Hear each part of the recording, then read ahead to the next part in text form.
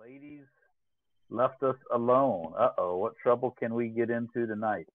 Yeah.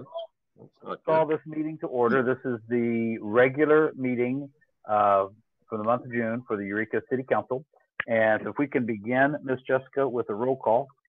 Well, I hope it's the regular meeting for the Eureka Planning Commission, Oh, what'd I say? Eureka City Council. Oh, I'm getting visions of grandeur there, aren't I? He- he- Yeah. Next, next you'll say the mayor's calling it to order. Planning Commission. Thanks, Jessica. You're welcome. Um, Commissioner Reagan, I'm here. Commissioner Ames, Here, Commissioner Benino. Present? Thank you. Let the record show that Ms. Meyer and Ms. Um, yeah, good, you're good. She's the vice, she's the vice chair. Arriaga are absent. She's the So uh, next item is salute to the flag. Mr. Benino has uh, volunteered to lead us. Okay. So, Bill, Wait a Right. second, I- I'm pouring my drink. Okay. Ready? All right, I pledge allegiance to the Listen to flag the flag of the United States of America. and to the To the republic, republic for which it stands, one nation. one nation, under under God, God, indivisible, indivisible, with with liberty. and liberty and justice for all. excellent. Next, we have on our agenda approval of the minutes from May 11th. I presume everyone's had a chance to review those. Yes, Who would like I'm- to move? I'm, I move we approve the minutes. A second, All right, any discussion, changes suggested? No. No, no. Not for do thumbs up voting. All those in favor, show me a thumb. Okay, uh-oh, has that, you got it? There we are. Three. Anybody opposed? All right, uh, minutes pass unanimously. Speaking of which, it's got to be three of us tonight. We got to all three agree to pass anything. So just keep that in mind. That'll be the day. Yeah, really. Okay, Uh, next item is called oral communication. So that's an opportunity for the public to address the commission on any item that's not on our agenda. And I don't see any public members in this thread unless maybe, is that Lisa Savage? There are not. Okay, so what do we do? I guess we just close it, move on? Yes. Okay. We tried. Next Well, item it- is, um, next item is a public hearing for the concrete loft of the Redwood Full Unit Residential Lodging to minor use permit. And which staff member is talking to us about this one tonight? Lisa's gonna take that one. Who? Lisa Savage. Lisa Savage. Good evening. hi Lisa, Hello. How are you? very good. It's early though.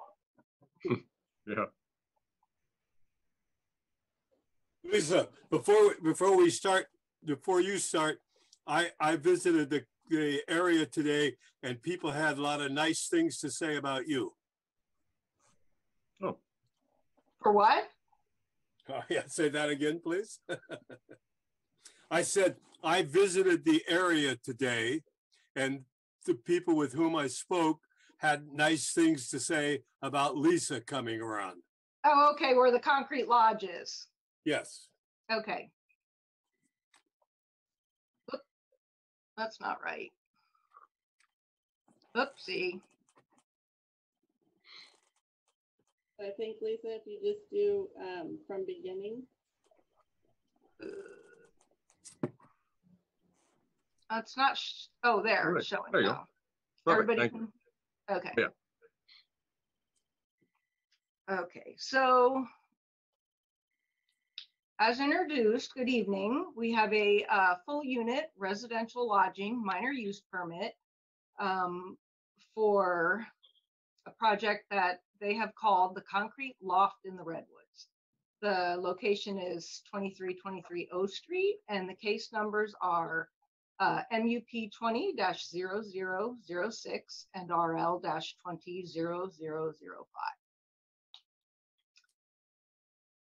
Uh, General location, zooming in a little bit closer onto 2323 O Street, um, which is bounded on one side by um, Boone and on the other side by Del Norte Streets. Zooming in a little closer. And then uh, street view of 2323 O Street. And then angling in a little bit on 2323 O Street so you can see down the driveway to where the parking is available. And the project description. The applicant is seeking a minor use permit for a full unit residential lodging, which is basically a vacation rental. So a couple of clarifications on vacation rentals. City regulations state occupancy cannot be greater than 30 consecutive days. It must not create a noise nuisance in violation of EMC 94.02, loud noises unlawful. And it must, ha- and they must have an emergency contact and fire department access at all times. Um, the request for the minor use permit is a land use decision, and it's not a decision on the character of the applicants or the owners. The residential lodging will utilize an existing two-bedroom, single-family home with a detached two-car garage. And the maximum number of occupants in the residential lodging, not including children under 12, will not exceed six. That's two persons per bedroom, and it's a two-bedroom residence, and two additional persons. It's available for rent all year. And although there's a maximum of six events per year allowed, the owner has agreed to not allow any events at the property. Lisa, is that part of our conditions or is that just his option? His option. Okay. And um, no noise after 10, no noise or guests after 10 PM. The operation and maintenance will be performed by the applicant and the owner, who is the owner. The applicant is also the emergency contact and he works within three miles of the residence. Cleaning will be done by a professional cleaner. And the professional cleaner will also serve as an additional emergency contact. Uh, parking, there are three off-street, off-street parking spaces available for the guests in the area that I showed you earlier, right off of O Street. Uh, summary of findings. The findings required by the Eureka Municipal Code to approve a full unit residential lodging minor use permit are discussed in the staff report and the required findings can be made. Uh, conditions of approval. Um, the residence must be inspected to residential standards by the building department prior to operating. The applicant will obtain any necessary building permits and follow-up inspections required by the initial inspection. And once the residential lodging is operating, the applicant will play, pay transient occupancy tax or TOT by complying with Eureka Municipal Code Section thirty-five point zero seven zero, which addresses the collection, record keeping, reporting, and remittance of, of applicable TOT.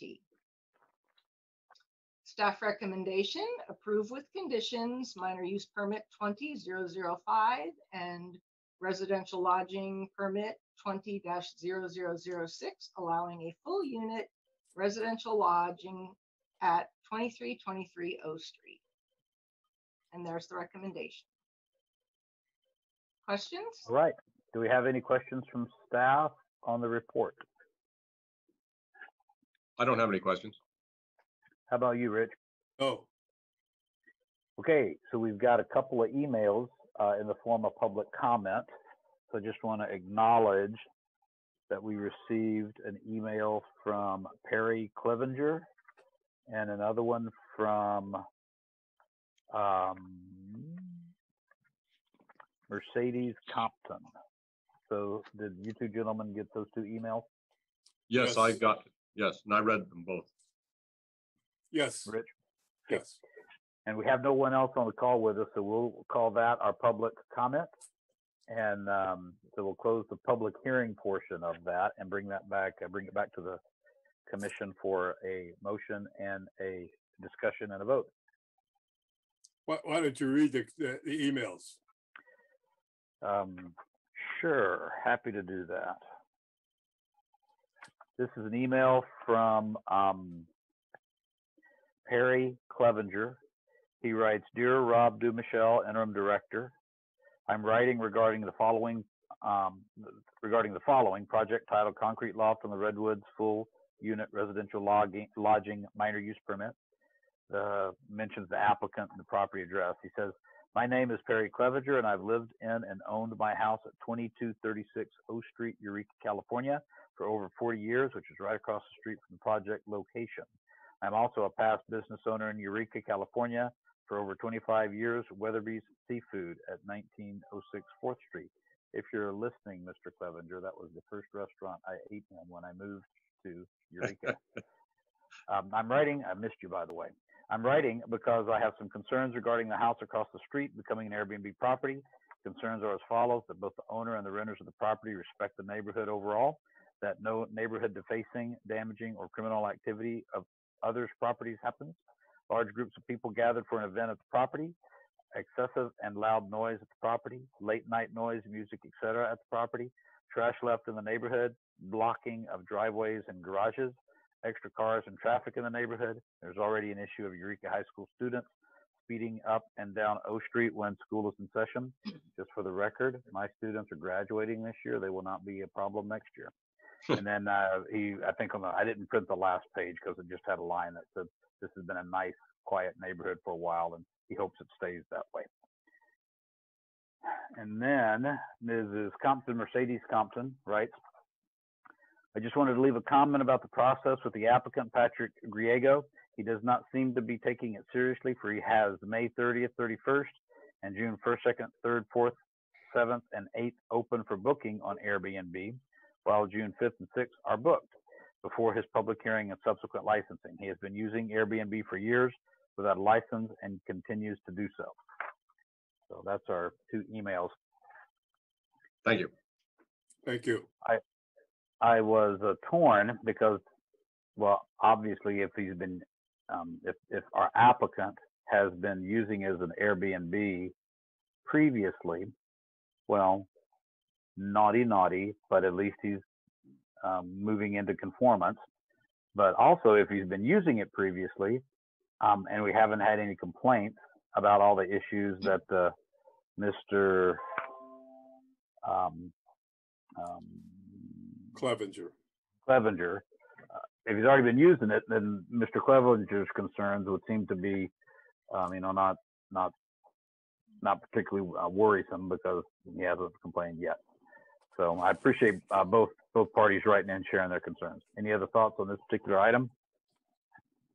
Well, I agree with you, Jeff, there. Uh, It is good that these people become uh, compliant because it'll help the collection of TOT tax, which is uh, something the city uh, needs at the time, right now. So I agree with what you're saying and I, I am, uh, feel the same way you do.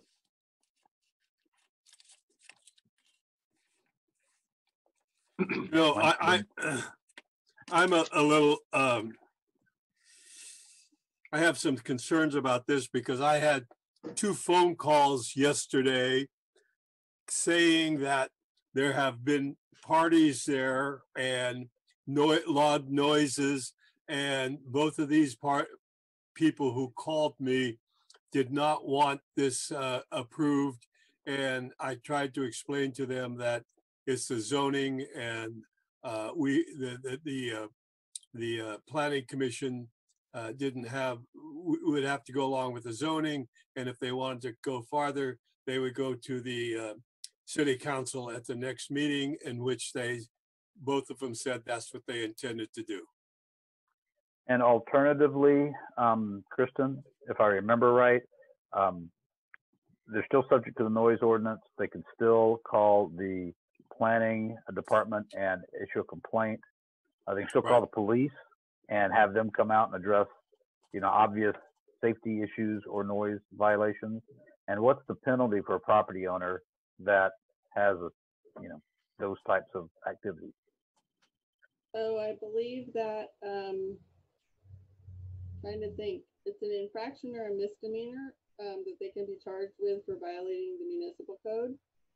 And additionally, um, they'll now have the if you can look at it this way, the extra protection of having the um, minor use permit and the residential lodging permit um, applied to the property. So the conditions of approval that you would place um, on the project if you uh, approved it this evening um, would also then apply to the site, and they don't apply right now. And the, uh, th- this permit can be pulled. Is there a defined number of complaints or, or is that a discretionary uh, action by the director? If we received a complaint, we would do an investigation, and um, if appropriate, then um, the license could be suspended. And I believe it has to come back to the planning commission um, for you to actually invalidate it. Okay. So hopefully, Rich, those folks that called you are watching and they recognize that if they come and file a complaint, that this, this can come back before us and we can revoke the, uh, revoke the license. I think you're right, Jeff. Uh, having the minor, uh, use permit, uh, is a pretty big stick now, uh, as far as, uh, uh, the owner, um, informing the, any, uh, guests that, uh, you know, it's part of the deal. They have to be quiet. Yeah, good. All right, when you guys want to make a motion?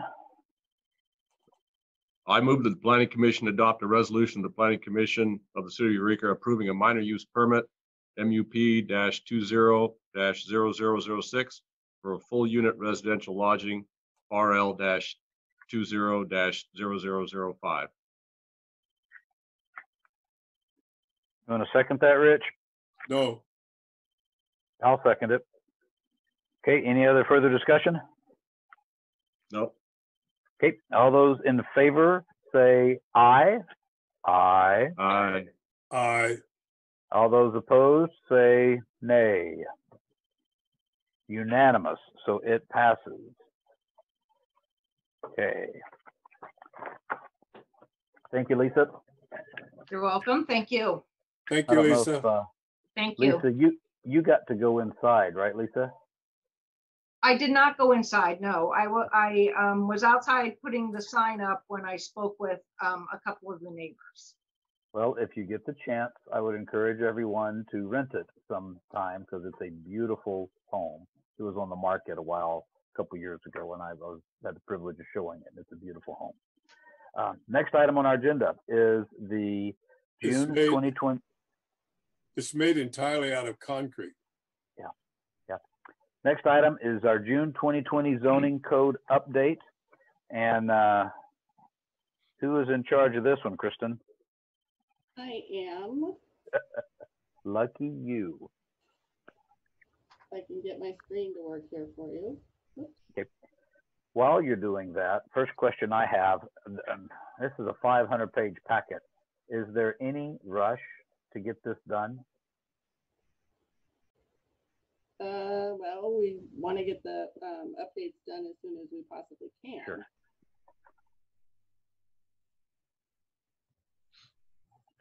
My.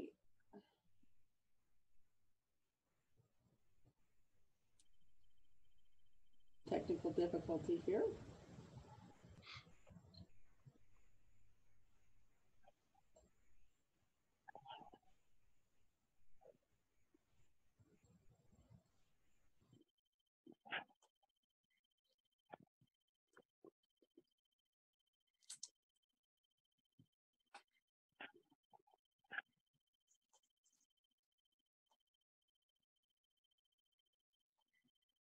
So can everybody see this screen, full screen?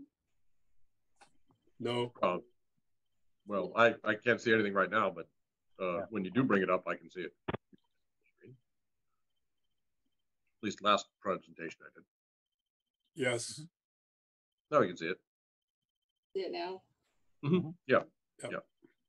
That's good. Um, So this is the June twenty twenty zoning code update. Okay. And um, in May of two thousand and nineteen, the city council um, repealed and replaced chapter one fifty-five, which is the Eureka Municipal Code zoning code section. Um, it covers the inland portion of the city, which is there. And tonight, we're recommending that you hold a public hearing and adopt a resolution recommending council approve the proposed amendments. As I mentioned in May, uh, council adopted it. It became June, uh, effective in June of 2019.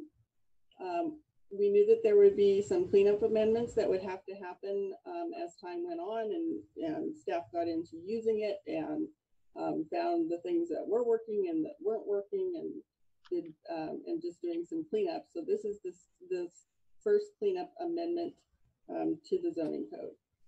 There's approximately 130 amendments, a little more than that. Um, they amend things uh, like consistency and references, spelling and grammar, and figures. And in your staff report, you have a summary of all of the changes that are proposed. And so tonight, again, uh, we recommend that you adopt the resolution, uh, make the findings required to approve the text amendment, and forward your recommendation to the city council to adopt the uh, proposed June zoning code update. And I'm happy to answer any questions that I can. Any questions for Kristen right off the bat? No, not this time. No, Okay. So we've, um, again, we're supposed to hold a public hearing. There are no members of the public in the Zoom meeting with us, and I presume we have not gotten any feedback. I've not. So I will consider this a public hearing, close the public hearing, and remove the item back, uh, you know, um, move the item back to the commission, to us. Um, Gentlemen, this is a, a, a big project. Uh, First of all, Kristen, thanks. This is a lot of details. Thanks for your work. I know this is just um, a lot of detailed stuff. And I really appreciate the uh, summary. It was, was incredibly helpful.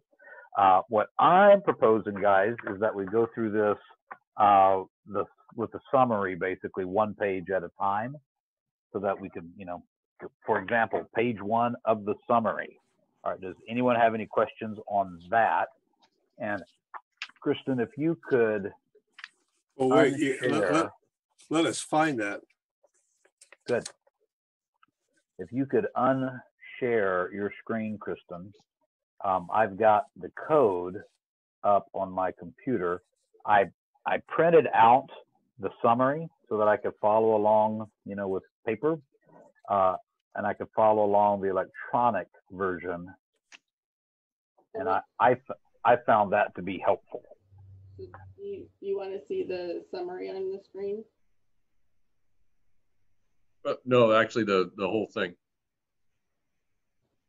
The, with the amendments. I can do that. I think I can do that.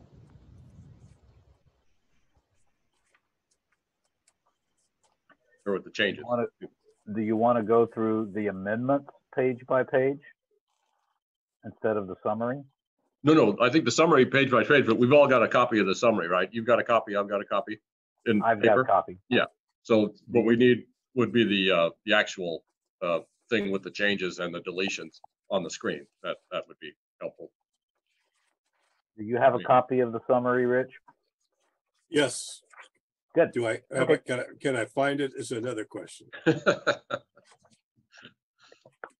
Got it. All right. So if we're looking at the summary, does anybody have any questions on anything on that uh, page one of the summary? Uh, no, I, I, um, I just did want to say the thing about, uh, changing the residential lodging to vacation rental. That's, that seems like a good thing because it was, uh, that was a little confusing. And, um, and the, uh, uh, the deal with the incorporation, where it says incorporation of state laws for ADUs. These are state laws that were passed this year or last year, or was it part of? It- um, They were passed in 2019 and became effective on January 1st, 2020. Okay. Rich, do you have any questions on page one of the summary?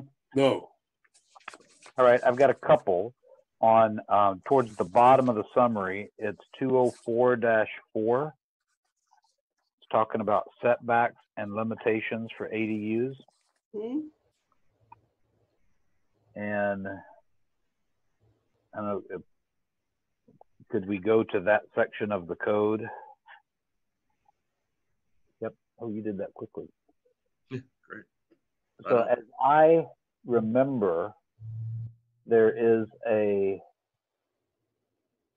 provision for setbacks. And then I saw in the code for either a, um, a set number, you know, a, a, a, um, a specified number for the setbacks or the average of the other streets on the face. That sound familiar, Kristen? Yeah, so there's an average setback um, allowance that's available in the code, and we don't think we're Yeah. changing that.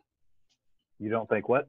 I don't think we're changing that, the average. No, but I didn't see it for the side to side. And I remember when we talked about this, you know, we talked about um, how a lot of, of a lot of old Eureka is built on the north property line so that you can have a big yard on the south that's, that's usable.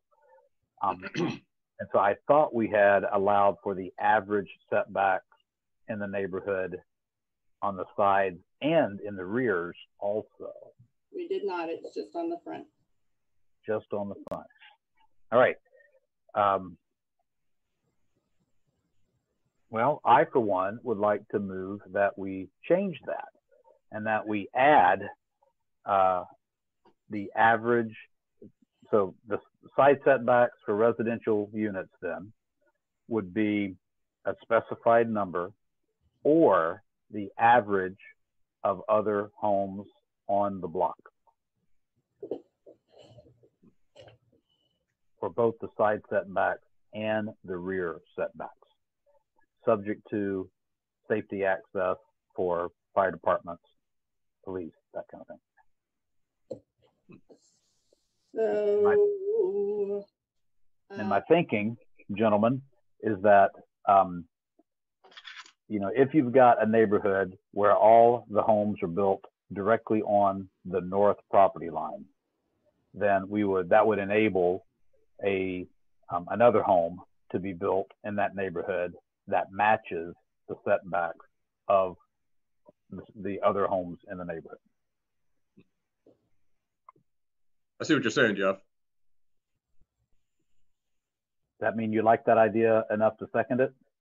Uh, yes, I would second that, uh, All right. as, as an idea for sure. What do you think, Rich? Yeah, I like that idea. Okay. Y'all ready to vote on it? You want, Wait, just to double check. You, you're moving to change the setbacks front and back to a specified number or an average of the setbacks on the block. that's already true of the front.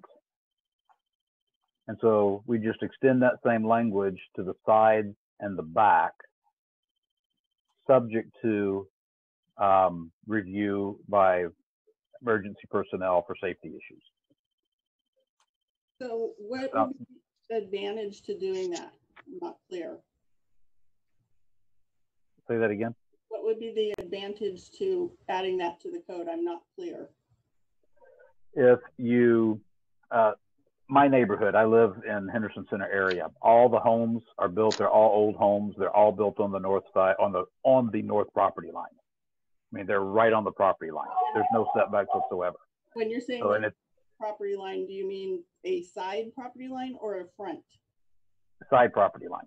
Okay, So, if a if there were a vacant lot somewhere in the city, and they were building a new home, and all the other homes were built like that, it would enable the new home to be built directly on the property line because the other homes would would average out to the same dimension.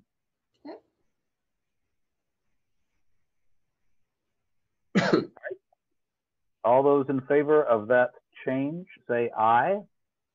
Aye. Aye, aye. Anybody, anybody opposed? That's unanimous. All right.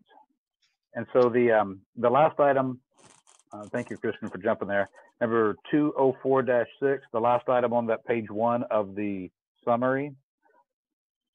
Is there any way that you could summarize the state laws for ADUs for us so that we know what we're getting into?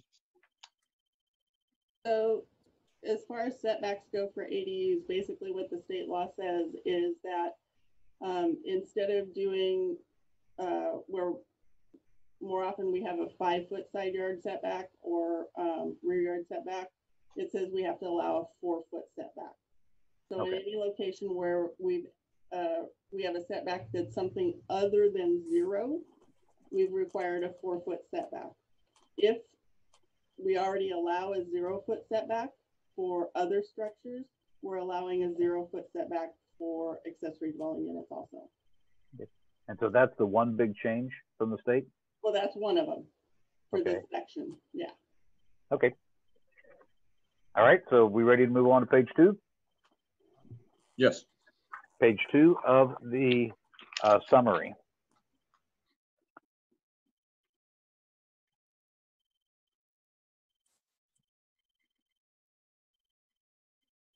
I think the change that we just voted on would, would address uh, section 204-9. I think they had the same concern there. Uh, Well, that looked like that was a typo, but, okay. And, Two oh four nine was correcting typos and spelling. Yeah. That's it? Okay. Well, for what it's worth, and maybe my eyes are going bad, oh, I oh, didn't see a change in adjoining to adjoining. So you might want to double check that one one more time in the summary.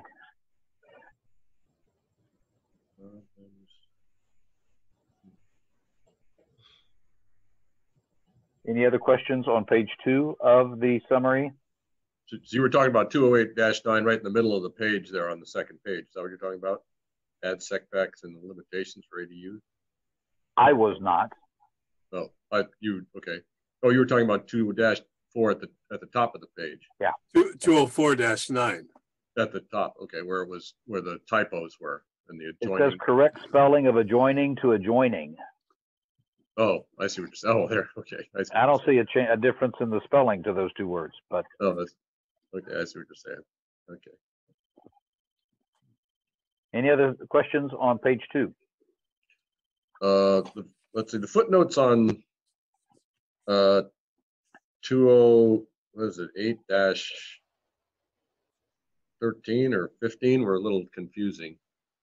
I, I was just wondering if you could explain those a little bit more closely for us. You said Thank two you. oh eight fifteen, Uh, what was that? you said page two oh eight dash fifteen? Uh, Thirteen. yeah, yeah, fifteen, yeah, thirteen and fifteen, the footnotes were a little, uh, actually, on the packet, it was page sixty-eight, so I don't know if you can get to page sixty-eight on the packet there, I think is where it was.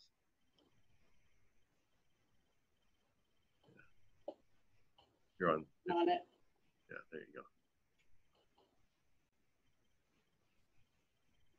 There we go, yeah, something around there.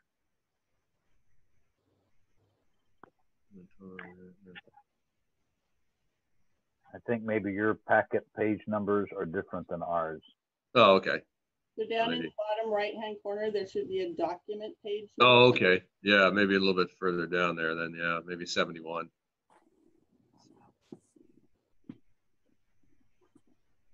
Seventy-one. Yeah, I guess not. Oh, well. Um, the residential, tra- yeah, the residential transient thing, you're changing that from six months to one year? Is Yeah. that state law? Is that state law or is that just something we're doing to let them do? I thought we talked about that when we were doing the general plan stuff. So the previous code had it at one year. Um, it's proposed at one year in the coastal zoning code too. It's already been sent to the coastal commission, so we want to make them the same. Oh, okay. All right. So I think what we're going to have to do is refer to the document page in the column on the left of the summary. Uh, Okay. Rich, did you have any other questions about page two? of the No, I summary? don't, I don't, I don't. I'm Page okay three of the summary. Yep. Page three of the summary, I had a question about, uh, section three oh four dash six. And actually, Joe, you just raised it, the six months to one year, so never mind. Anybody, anybody else have questions? About page three of the summary? Uh, yeah, um, I guess three oh four eleven, uh, regarding the, re- the vacation rentals. Um, it looks like they changed the thing where there's, uh, no limitation on events. I remember we had quite a discussion about that. And, uh, uh, that was taken out, I think, and I'm not sure why. Uh, that was something that we sort of promised the residents that we would have, uh, a, uh, a, a set limit on events per year or per quarter, something like that. I, I think, I think this, this, this house we, we discussed this night, tonight at twenty-three, twenty-three O Street, that was one of the, uh, one of the, the factors there that they could have either four or six events a year. Right, but this is, this, this new, ch- this- we're gonna make a change. It's not gonna apply anymore. See? The old thing applies, but now this said that they were gonna change it to, uh, to not have as many, to allow more events. I, I'm not sure what's going on there. 304-11, I think is the page, Kristen. So Well, that, that, that's the whole, Rentals are limited to six events per year. Can you point to Yeah. us where it says that? I had it, I had it on page ninety-five, document page ninety-five, maybe? Was that where it was? Yeah. I remember, Joe, your pages don't match her pages, so. Can you see your screen, Joe? Yeah, I can. So Oh, is that it right there? if you, can you see my cursor? Yeah, Should be right there. yeah. The So- six events? Oh, okay. But the way that the code was previously written, for some reason, the number of events that you were allowed to have for multi-unit was different than the number you were allowed to have for full unit, which didn't make a lot of sense to us. But we've also changed the way that we're looking at vacation rentals. Um, we've switched them now to be, instead of being um, a single room or multi-room or the full unit, it's whether or not the proprietor is on the site. Mm-hmm. Okay. So would Basically- a, I'm sorry, Joe, go ahead. Okay, so it's just, ba- so like I s- said, maybe I misread that. So vacate, it's still limited to six events per year. Okay, there we go. Bingo. Okay, well, And that's, that's for, that's for both types of units? Correct. That's whether the proprietor is on site or not. Okay. And so let's say that there's a uh, owner of a large bed and breakfast in a multifamily zone. And uh, they're, they get a, um, you know, they have uh, request for a lot of events. Is it possible for them to apply for a variant to that? I think we can do a minor. Just looking. Like, like if they have weddings every, every week. Yeah, they could request um, a variance. Okay. I'm happy with that.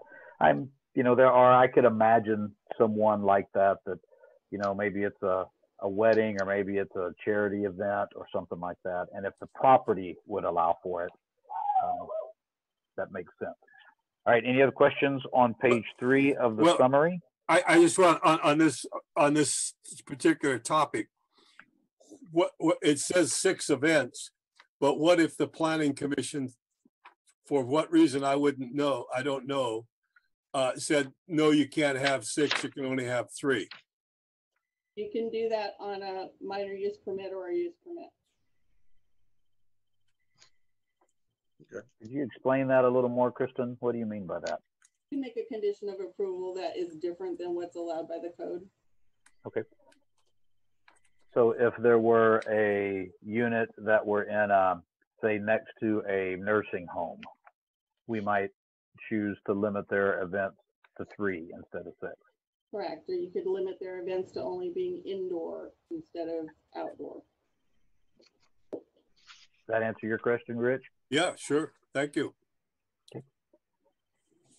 Any other questions on, um, on, uh, vacation rental units? No, Um, I got some questions about tree removal. yeah, me too. Um, Okay, let's jump there. So section three oh four fifteen, you go, Joe. Yeah, uh, the, uh, tree removal section, uh, seems to have grown, uh, quite a bit. Um, what was like a two-page thing or less is now four pages of, uh, regulations. Um, in the, uh, reason, it, uh, says, uh, encourage development, but by not requiring tree permits. Uh, but that's, uh, not quite accurate. Um, I've noticed there's quite a bit of stuff and language in there that uh, prevents development. And um, uh, it's, this is quite a significant change. And um, I would say, uh, I've got a lot of amendments I'd like to make to this, but I would prefer if that was just uh, completely removed, all those changes. And uh, I would like to request that there be a much wider public hearing about this uh, entire tree removal um, section. Uh, for instance, the council should have a workshop or some kind of a, uh, you know, a series of meetings uh, because uh, the changes here um, counter to what it says there that makes it develop it easier. It actually makes it harder. Um, there's a lot of things in there that uh, would drive up cost, uh, such as getting a lot of environmental uh, people involved and reports. Um, uh, significant infringement on the, uh, uh, what we call the, uh, the public welfare, meaning that is, people being able to enjoy their property, the general welfare. So I, and also public safety due to, hazardous trees. Apparently, uh, you have to have an expert tell you your tree is hazardous as opposed to the owner who lives there, uh, being, uh, trusted to know what's hazardous. Um, uh, the protected trees, uh, they, apparently the, in the preamble, uh, city's history and character, distinctive trees are protected. But you've got four or five pine trees listed here that are not part of the distinctive character of Eureka. Pines are not really a big part of the Redwood, uh, Coast, uh, uh, forest. So, um, I'm just thinking that, uh, I would move that we just, uh, leave the language as it is right now and next year, uh, after a series of meetings with the public, uh, we hash this out to, uh, be a little bit more, uh, residential owner friendly. I too share your how does concerns, this- Joe. Go ahead, How does- How does this affect the, the long discussion we had on the tree removals uh, by the, by the uh, Eureka City Schools? I believe it's on West Street. uh, uh, The Beret Center. uh, uh, um, Right. The the- the eucalyptus trees that Those, I was, were- I was, I was in ahead. favor of not removing those. And, uh, a- a- and it was passed that they're going to remove them, but how does this language change that or apply to that? It doesn't apply to that because those are in the coastal zone. Yeah, and also they're not part of these protected trees because, uh, Okay, eucalyptus trees are not native to this area. got it. And, and, but, be- but because they're hundred and fifty feet tall, it, it does make a difference. So, so anyways, uh, there's a lot of, uh, things in this that, uh, that I don't really particularly like. And I would like to just, uh, move that we just leave the language the way it was and then have a series of, uh, hearings, uh, to determine, uh, uh, what the language should be, uh, in the future and then change it, uh, next year. That was a motion. Do you share that, uh, that thought, Rich? Uh, uh, uh, To the staff, is there any big project that's going on or getting close to going on, on, on tree removal? Not that I'm aware of. So if I could just um, explain a little bit why staff has proposed these changes, if that would maybe help. Good. Um, Currently, we believe that the, um, the regulations that are in the code are much more restrictive than what we're proposing here. For example, if you're building a house, you have to get a tree permit to take down one of those trees that's listed um, as the commercial trees. Whereas the proposed language will allow you to remove those trees if you show on your site plan that they're going to be removed. The question that staff asked ourselves, that we asked ourselves, was what is the purpose of the tree permit? Why are we doing this? What are we trying to protect or regulate or, um, you know, what do we want to have input on? And the thought was that because these lovely green areas, gulches and greenways that we have in town here and a lot of the um, redwoods and other types of trees that people have on their private property, those are the kinds of things that we would want to protect and retain and maintain. We don't so much care about whether or not CAL FIRE thinks it's a commercial tree, uh, which is what the, basically the length, the list was prior. Um, there's no provisions in, um, in the code right now for removing hazardous trees at all. So we've added that in. Um, the requirement to have, um, a timber operator provide a report, that was in the previous code, so that's not an entirely new thing. Um, we did add in some language about um, an actual tree permit process, which was missing out of the, the, the past code. Um, or the current version of the code, excuse me. And then the list of protected trees is a list that um, I put together based on information that I found um, on online. So looking at the types of trees that grow here, that are common here, that we find here, that's how this list was created. Sure. I see.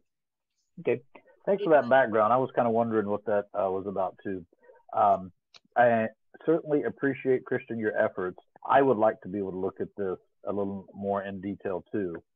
Um, would it be, uh, would staff's preference be that we just remove all the changes to the tree section and come back and do that over an extended period? As, by the way, I'm going to second Joe's motion. Uh, is staff's preference that we do that we remove it all now and come back and look at it later, or that we just take our time and make changes now as it's before us in the context of the big plan? What do you think, Kristen? So you can either um, make a recommendation to remove it now if you'd like to. Um, staff will take that recommendation forward to the city council and then they can decide what they want to do. Or you could recommend um, modification to it to make it to something that's a little more acceptable to you. Okay. Your choice. So Joe, if we take it out now, well, and let me, let me add, I don't think I'm gonna vote for moving this forward tonight, the, the big plan tonight anyway, just because it's a lot of pages and I haven't had a chance to work through all of them. So I think we're gonna end up taking another swing at this at, uh, next month's meeting anyway. Um, but having said that, Joe, would you prefer to, um, take our time and address this in the context of this uh, big edit, or would you prefer, as your motion said, to pull it out and address it separately later? Uh, I'd say I'd, I'd like to pull it out, uh, uh, now, and then, uh, like I said, we, it, it's, there's, if you read between the lines, uh, there's a lot of stuff that, uh, does not make it easy to, um, take down a tree. For instance, uh, if you're building something, uh, and there's a tree that is sixteen feet away from your, uh, construction zone, you can't take that tree out, even though it's in the way of your tractors and all your workmen and tradesmen. Uh, that should be at least thirty feet away. I mean, fifteen feet is, is right there, right where you're working on, uh, laying foundations and bringing in trucks and stuff.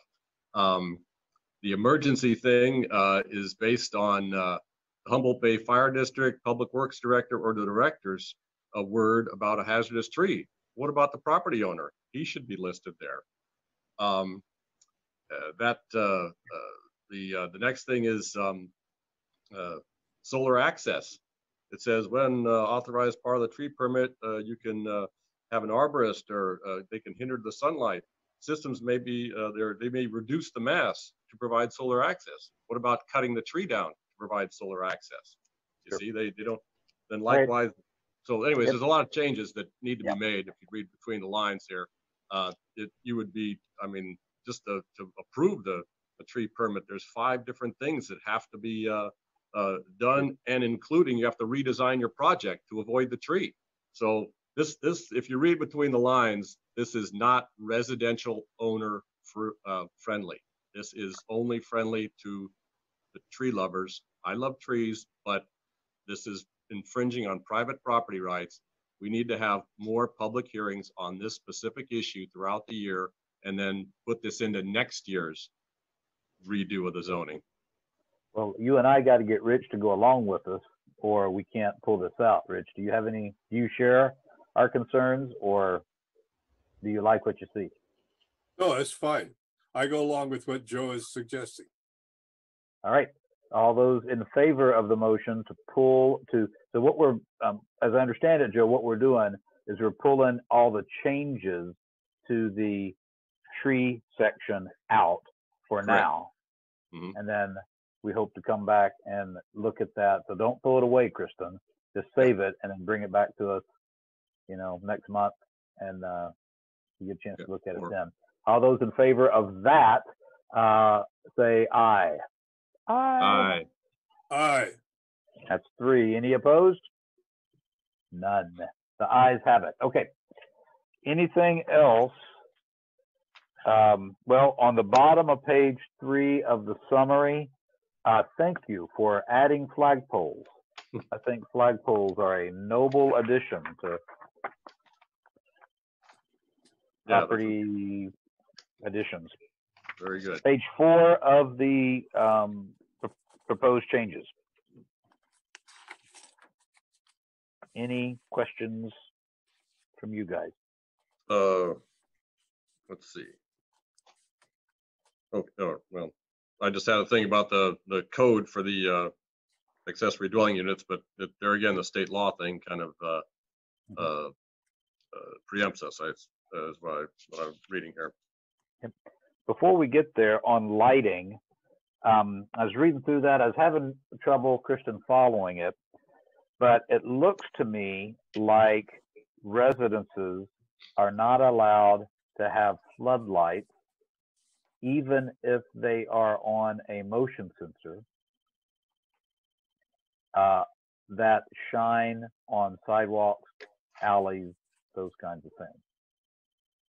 And I mean, I look for that. I'm trying to think. Um, there, there is a hypothetical floodlight in a hypothetical alley close to my hypothetical house that the hypothetical owner really likes because when people walk up and down the alley late at night or early in the morning, the floodlight goes on. Light is a really good disinfectant if someone's thinking about um, misdeeds. It also is a good warning to uh, the neighbors that may be laying awake in their bed at two in the morning that uh, hey, somebody's walking down your alley. I don't. It doesn't look to me like this code allows for that kind of security lighting in a residential area. So lighting, light cannot be directed off of the site. But that includes sidewalks and alleys. Yes, it- it would include sidewalks and alleys. I mean, obviously, there's, well, there's shielding that's required to help prevent that. Mhm. Um, and we did add the part in about, um, motion sensor lights can't exceed the sixteen foot height limitation that was. Right. I would like to add in here that we allow for security lighting on the perimeter of a property uh, that that shines that that can shine on public right of ways, not neighboring property, public right of ways like sidewalks and alleys, if they have a motion sensor and they don't stay on for longer than, what, five minutes? I'd be in agreement to that, Jeff, uh, except for the limit on the five minutes thing. I mean, No. What do you think it should be? oh, I don't know, uh, just, well, I'd, I'd say ten minutes, but uh, it really 10 doesn't. minutes. I'm good with 10 minutes. How's that sound to you, Kristen? I'm gonna have to check on that. I don't know if we can authorize, um, lighting to shine onto the public right away. Okay. Well, Why couldn't we? Cause it's a public right away. There's a belong to the property owner that's shining the light onto it. Yeah. Hmm. There, there was something in there that said something about you can't have a light shining on the roadway or something up and Right. above or Well, below there. And as I understand roadway, because you have people driving and that, that could create a driving hazard. But um, alleys and sidewalks, seems like that would be appropriate. Rich, do you, does that, is this sounding reasonable to you? Yeah, I, I think that ten minutes is better than five also. And wasn't there something about residential things are exempt from this, or is that, was I misreading that? So in the non-conforming section, uh, it requires that, uh, properties that are non-conforming to the outdoor lighting requirements be brought up to code. We're exempting, um, single-family residences and alterations to the exterior structure, or sorry, interior only, uh, no alterations to the exterior. Oh, I see, okay, I see, does, does not apply to single family uses, okay. Yeah. Well. That's, I, oh, for non, for bringing them up to code, oh, get it, I see what you're saying, how that does, all right, yeah, yeah, so Okay. I agree with you, Jeff, uh, we need some, uh, uh, uh, more latitude on that, especially for alleys and sidewalks. So I would move, Kristen, that we add something in here that residences and uh, both single and multifamily can add security lighting. I don't know if you want to recommend a height limit on that, Kristen, but security lighting, um, you know, security flood lighting that would uh, be triggered by a motion detector that would uh, shine on public right of ways. Would it be better to, to just reference sidewalks and alleys? Would that be a better way to identify those, Kristen? Probably because the public right of way would also include the street. Right, so let's do sidewalks and alleys, uh, but not to shine on neighboring property And not to stay on for more than ten minutes. Well, and we're just talking about residential, And multifamily. but how about a place like where you live in Henderson Center? Where there's, there are alleys that, uh, businesses back up to.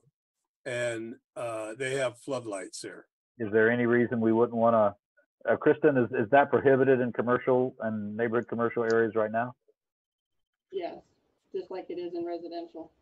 All right, well, let's, let's remove the residential and multifamily distinction with any property owner. Thank you, Isabel. Any Okay. property owner can do that for security purposes. Me- Okay. Meaning, meaning i- industrial property owner. Sure. Yeah, I, I think that, uh, en- uh, enhances the general welfare and the prosperity of the area. uh, It cuts down on crime. It really Yeah. does. Yeah. Because there, there are two or three alleys in, in Henderson Center where people empty their trash and stuff, businesses, uh, and, and you, they would love, they either have floodlights at night or they'd be, they, they would want them. All right, any other discussion before we vote?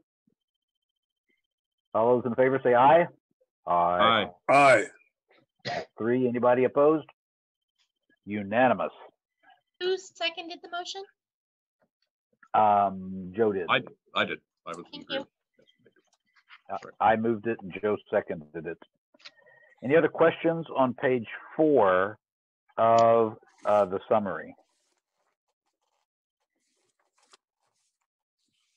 Nope.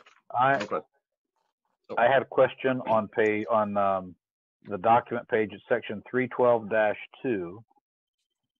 Wait, we're back up page four. Yeah, still on page four. Okay, three twelve two. Um, we changed the high quality section, the part, where'd that go? Mhm. Oh, yeah. Um, I was curious why we didn't allow um, one-piece siding with bats. So we didn't allow, I'm sorry, what? There was a distinction. You could do uh, sheet siding with bats, but they had to be separate pieces. It Right. disallowed siding that had bats formed in it. Right. And that's the way the current code is. And why? Because it's a, it's a higher quality material. Hmm. So anything that's preformed is low quality? Um, it's not as high quality, I guess. Okay. I'm, I'm not, I'm Yeah. trying to imagine what that might be and, and nothing's coming to mind. Right. So we took out the high quality because it is so subjective, as you can Right. see. Um, the board and batten requirement, again, it's in the code that way right now.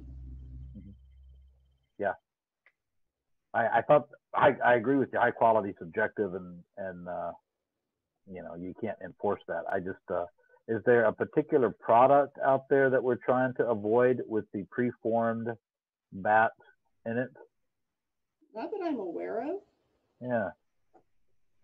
Hmm.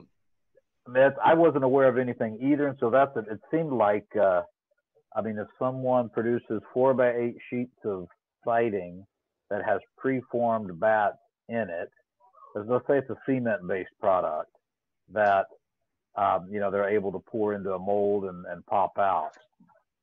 I'm, I'm not sure why we would care about that. Uh, but Hmm. any other questions on that particular uh, summary page?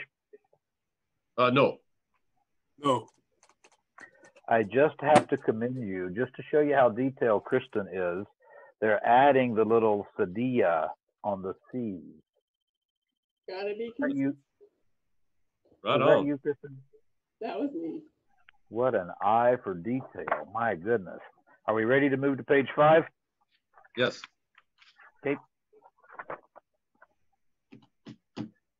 Any questions on page five? Uh, my only thing is about uh, revising the fence height to six or to seven feet now from six feet. So we're proposing to do that so that it matches the building code. Uh, whose building code? Our building code? Yes. Oh, The I thought state- the building, I thought the building code was six. It was six until, uh, two thousand eighteen and then it changed to seven. Okay, But not in Eureka. It was in the state, you said? Or, So the Mhm. building, the building code adopted in the city of Eureka right now allows you to go up to seven feet without a building permit. Our Okay. code cuts you off at six feet, so we're just making them match for the most part. okay. Now, what happens to all the people that, uh, who built a six-foot fence, uh, prior to 2018? Have they been informed that they can now go to seven? We wouldn't know who they were because there's no permits required for them. Okay, is there a mechanism for notifying all the people in the city of Eureka that you can now go to seven? Um, I Yeah. would, uh, if this, yeah, if this, uh, change is made, uh, it, all the people that wanted seven foot and were told no prior to two thousand eighteen, and there was a lot of them. I've been to a couple of meetings where people were, hey, I want this fence, uh, you know, security and stuff. Oh no, six is the limit on the alley. Well, I can see over a six foot fence. I can jump over a six foot fence. Seven. get out of here. So, well, I used to be able to. yeah, but- there, thank you, but, uh, thank you. But, but the, um, I, I think the, if this change is made, the city needs to take out ads in the paper or, uh, do an editorial or put it in the, the monthly newsletter that, uh, anybody that's got a six foot fence, you can now go to seven. Uh, this needs to be all those people that, uh, you know, wanted the extra security and got ripped off and slapped down. They need to be informed that this is now going to be a change and they can add another foot to their fences. I, I really think that that's part of being transparent, just to slip this thing in and not, uh, let all the people who years and years ago got ripped off, uh, stay in the dark is not good. So I would, uh, uh, there's no motion involved here, but I just want to put that out to the, to the powers that be, the new manager, whoever that is, that, uh, that, that there needs to be a, an advertisement, uh, even ads on TV, you know, you know, if you put a lot of public service ads out, that's something that should be done. Could you, uh, Kristen, could you, uh, go to section three twenty point, or three twenty dash five and review us through the clarified materials? Again, the high quality term is too subjective.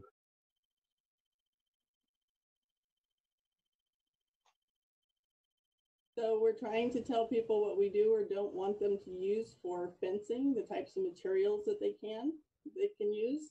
Um, so, um, decorative masonry, ornamental steel or wrought iron, brick, stone, or wood are, um, the types of materials that are allowed for open fences. Um, there's been a prohibition on using chain link and other wire fence. Um, we've seen some really nice um, proposals for woven wire fences. Um, lots of times there'll be um, like a wooden frame that goes around um, the fence section, and then there's wire uh, across it instead of using boards or, or metal or something. Um, and so we've added that woven wire fences the woven wire fences are not allowed, but the ones that are welded, the welded wire fences, those could be allowed. And so what about a interior lot that wants to fence their backyard and the only people that are gonna see it are the property owners, maybe the neighbors, or the people that drive down an alley? That seems like an appropriate use for a chain link fence to me. Uh, This this is for front, front fences, isn't this street facing only? Yeah, I didn't see that. they're not allowed within the minimum required front and street side setbacks in the residential zone districts. Okay, I missed that. And they're not allowed between a building and the street frontage in a mixed use zone. Say that last part again? They're not allowed between the building and the street in a mixed use zone. Okay. So in your example, they could do a seven foot tall open fence in their backyard. Okay, that's what I wanted to make sure. Excellent. Any other questions on? I- I- I do, I do. Uh, Go. I want to direct this directly to Joe. Joe, uh, I, I'm in favor of everything you're saying, except I don't like your use of the word ripped off uh, as frequently as you used it. Uh, I, I- I don't think that uh, the people, because that was the, that was the, the law at the time, it had to be six feet. Uh, w- No one got ripped off, they just, the law changed, that's all. So Oh. to say we should apologize to these people who got ripped off, I, I, I just don't feel comfortable with saying that. Well, that's your opinion, but, uh, you know, the people that were fighting for a higher fence, you know, they, they weren't happy. And, On a related note, I want to sue the federal government for all the time I lost driving 55 in my childhood when we could have been driving 70 the whole time. And there you go. Yeah, you got Any, ripped uh, off, see? There, yeah, all that time. You got ripped off. There's no way else to say it. You were ripped off. That's the glad we're appropriate still having term, fun. Hey, Jessica, are you Hold having on for fun? a sec. Yeah. Are you are you having fun, Jessica? Okay. Yeah. Yes, Rich. Rich, you had a question? Stepped away, Oh, oh, he stepped away. Okay. or was getting his hat. Okay. Okay, we can continue now. All Thank right. you, sir. his hat. Oh, There you go. All right. Any other questions on page five? Uh, just the thing about the roundup, uh, on, uh, thirty-three twenty-four four. Uh, the fractional spaces. I thought we had voted round down, or maybe I misremembered that. I don't know. I, I could have sworn we, we voted round down on parking spaces. In the fraction. What number are you, Joe? Uh, it says thirty-four, three twenty-four dash four, right about, uh, just a Okay. couple things down from the fence Okay, I got you, I got you. Yeah. Uh, I thought we voted to round down on that. We I did, did too, Joe. we did, Joe, to run down. Mhm. Well, Don't know what happened. whether we did or not, let's uh, make a motion and, and uh, make that change. Okay, I will make that motion and do that. I second.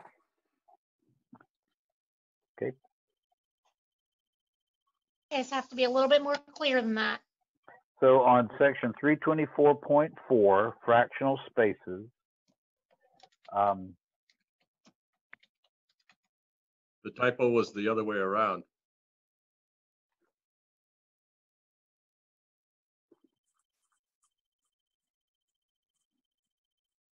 So we're gonna. The typo section- should say round down. I'm looking at it, it looks like the whole thing is being struck, Kristen. It is. So we're adding it back in is what we're doing, correct? That's what I'm hearing you say. Right. So paragraph or, or paragraph D, number four, fractional spaces, that will remain in. Oh, okay, there we go. Yeah. That's, that's all moved to do Thank you. All right, any other things on, uh, page five? We, we got to vote on it.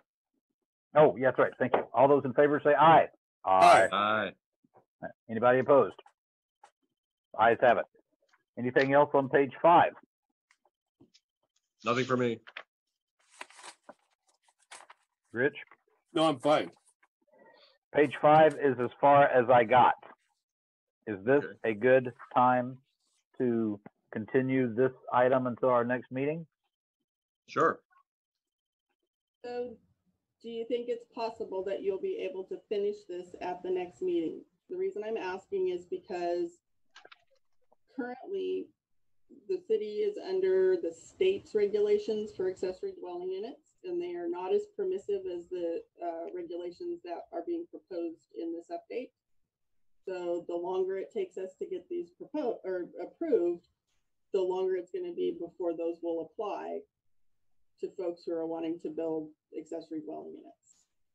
Yep. Wait, did, wait, did you just say that there are restrictions are less restrictive? We're more, per- we're proposing to be more permissive than the state. Oh, I thought all these things, uh, where it said we're doing it because we're, have to be as permissive as the state. Some Says of, incorporation. Some of them we are. An example would be, um,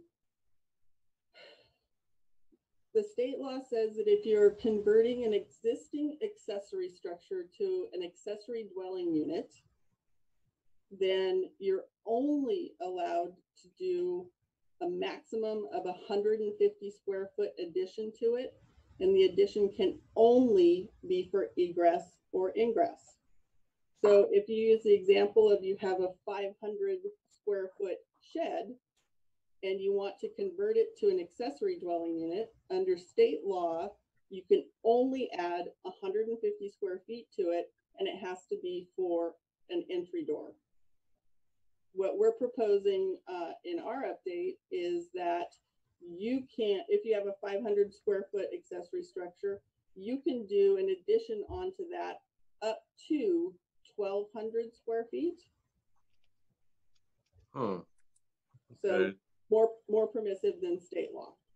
Okay, and does that say that on the, the reason area where we are doing it because we want to be more permissive? Is that, I don't recall seeing that anywhere. Um, I think we just incorporated Hmm. the state laws for ADUs. Yeah, so, I am Um, confident I will be able to get through the rest of it by next month. yeah, me too. I mean, I already did, but yes, yes, Me Yeah. too. yeah, yeah, definitely. So I would continue it That- too. That also has the advantage of allowing the other two members to have some input. Yes, Okay, so I move that we continue this particular item to our next regularly scheduled meeting. I second that. I'm gonna let Rich count as the second on that one, Joe, so he can get his name in the minutes one more time. all He's right. running a little light tonight. Any Yeah. discussion? Nope. All those in favor say aye. Aye. Anybody opposed? The ayes have it. Okay. Okay, thank you, Kristen, for all your work on that one, all the rest of the staff too. A lot of details there. Next item on our agenda is business. We don't have any. And then reports and communications. Do you have any uh, reports for us, Kristen? I do not. Anyone else have something they want to talk about? I do. Yo, Okay. Uh, do we have anything in our bylaws uh, about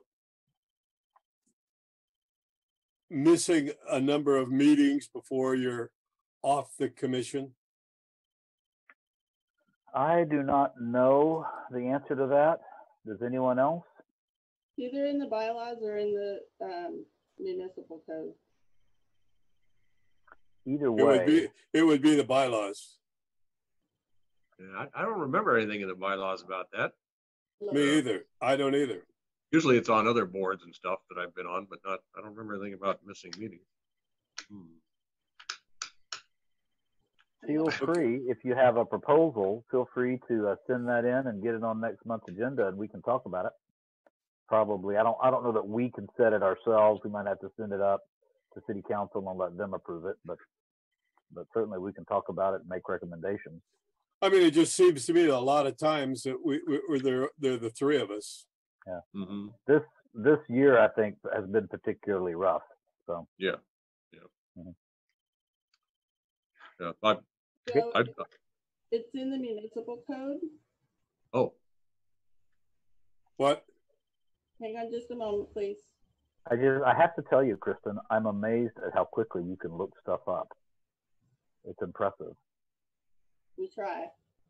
Um,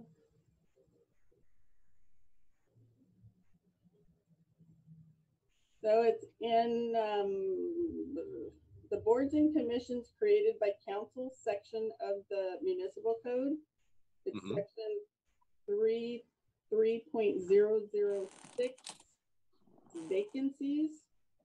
If a member of a board or commission absents himself from three consecutive regular meetings of such board or commission, unless by permission of such board or commission expressed in its official minutes, or ceases to be a qualified elector of the city, his office shall become vacant and shall be so declared by council.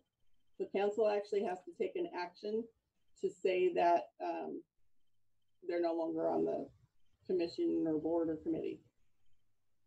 So if I miss three meetings in a row without your guys' permission, then y'all could appeal to the city council and the council could declare me absentee and derelict of my duty and that my seat is vacant.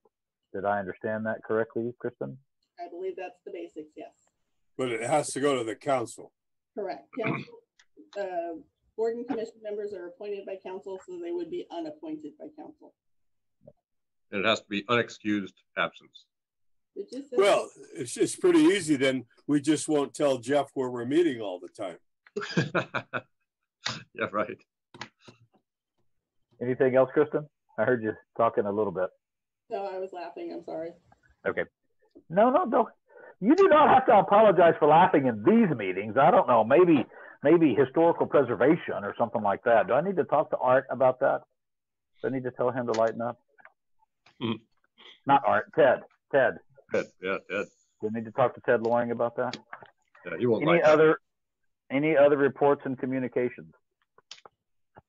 No, from- none from me. Next item on our agenda is adjournment. Is that okay with everybody? Aye. All right. Aye. All right, we're adjourned. Thank you, gentlemen. We'll see you next month. Thank you. Thank you.